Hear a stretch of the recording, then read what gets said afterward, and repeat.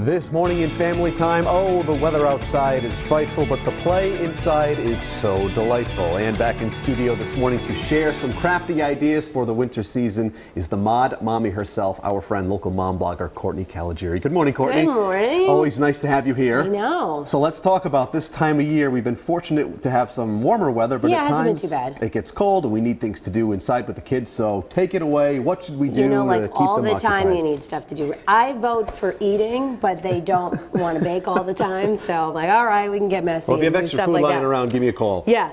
Um, so these I just did recently last week. Super easy, and obviously my goal when I bring crafts on and I do things at home is that you don't have to run out and get stuff.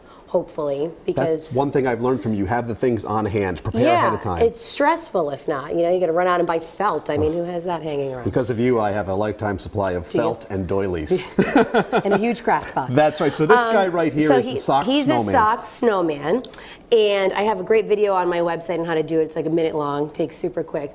But if you have a sock that doesn't have a mate, and so you have one white sock left Right. over, you can use it. He's filled with rice, a bag of rice, and he's just tied off with rubber bands. This is the the foot of the sock, so I just ended up like cutting the sock in half and filling them.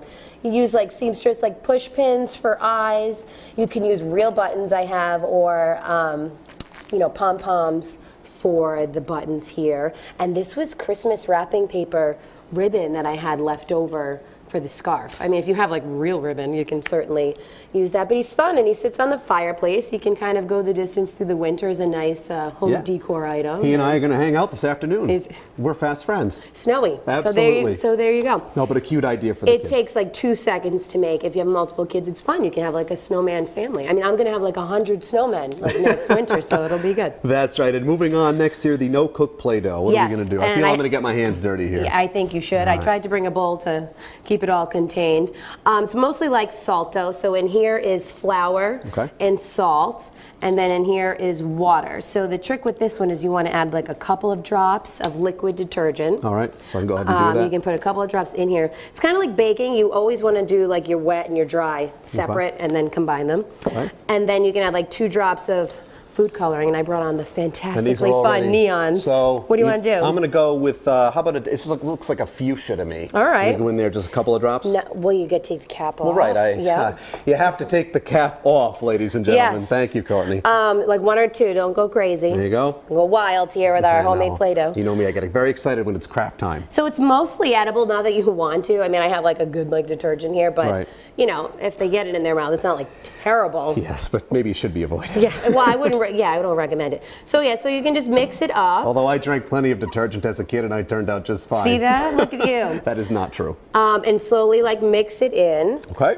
Um, and then you know always have extra flour on hand. Okay, just dump it in and mix it up. Yeah. Okay. So here's the thing with homemade Play-Doh. This is the no cook. If you cook Play-Doh, it lasts longer. This can take you about a month. It's already hardening up. Yeah, this will last you a month if you keep it in like an airtight container. Mm-hmm. Keep the lid. Yeah, got to keep, Keep the lid, on. but my out. boys will dry this out in a day. So you know, however long you want to keep it, but it's fun. It works well. You just keep working it, and for kids who want to get messy, they can just keep going at it. And speaking of your boys and your family, some big news for you guys. yeah, we Tell have us. we have another child coming in May. Come on, so happy for Courtney. How excited are you? More crafts for another decade. Yeah. No, we're excited. The kids keep asking when he's coming. I was Right. like, hopefully not soon. I need some time, you know? Exactly. Just when we thought you couldn't do it all, another child on the way. You do crafts, you make it all happen. It's for us. looking good. It's and you can use bad. your hands, but you're you're a professional, so we will let you use the spoon. But sure. Moms I- and dads at home, you can just Actually, dump that out and It really is coming together. Like I feel, I can feel the progress. you right feel there. like you could make a, a Play-Doh snowman, I perhaps. I could. Maybe a friend for Snowy. Yeah, so I have the re- I have the recipe um, on there too as well. So All right. Hey, super, that- super easy. That's not too bad. A dork like me can do it. Imagine what your kids can do. Courtney, always a pleasure to see Thank you. Congratulations Thank on you. the Appreciate it. on the baby.